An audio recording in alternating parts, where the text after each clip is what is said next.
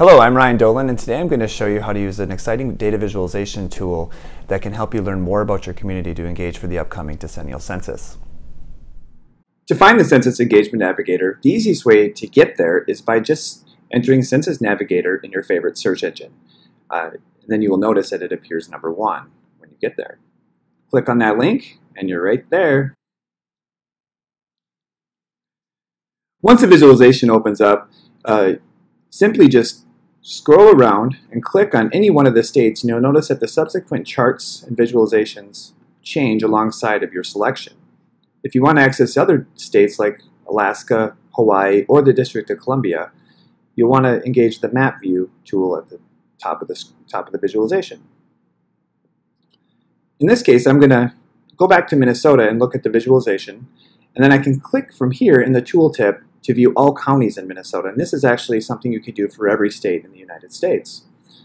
So as I click here to view all counties in Minnesota, you'll notice that my view changed. And if I click on any one of the counties, again, just like the states, the subsequent charts and tables change alongside of it. If you were to hover over one of these parts of the visualizations, you'll notice that you have uh, more detail about the variable as well as the margin of error. That's all contained within the tooltip. You can also drill in further for each county to look at all census tracts. I'm going to do that again from the tooltip. I'm going to look at all census tracts in Hennepin County, Minnesota. And just like the other two previous maps, as you click around the census tracts, you'll notice that the charts and graphs again change, providing greater detail about that neighborhood.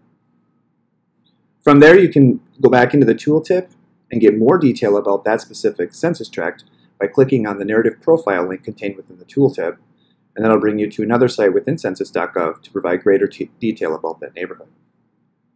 You'll notice there's information about households and families, uh, nativity and foreign-born language, geographic mobility, education, disability, and much, much more.